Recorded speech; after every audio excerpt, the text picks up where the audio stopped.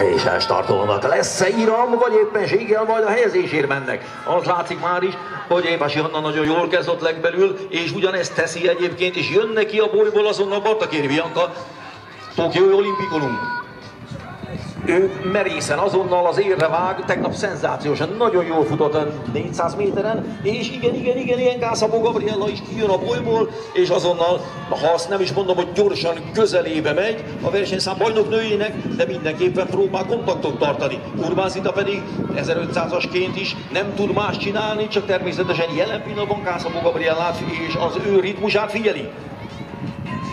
Egyelőre ez a helyzet, aztán Hanna van ott fönn a negyedik helyen, és jönnek a többiek is.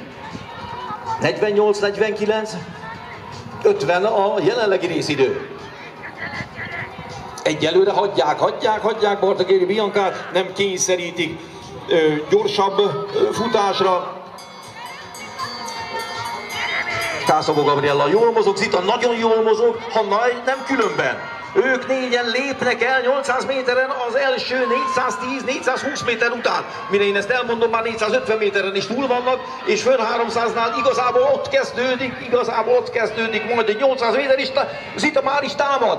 Egyelőre Kászabó Gabriella nem válaszol erre a támadásra, viszont e ugyanazt a ritmus próbálja meg Répási Anna is fölvenni.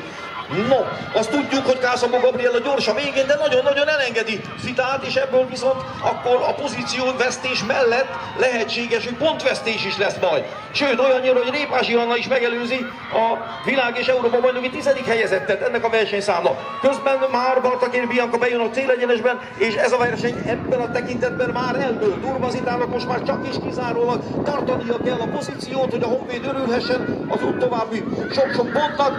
Ez egyelőre megvan Répási Anna nagyon-nagyon jól küzd, hihetetlen jól küzd.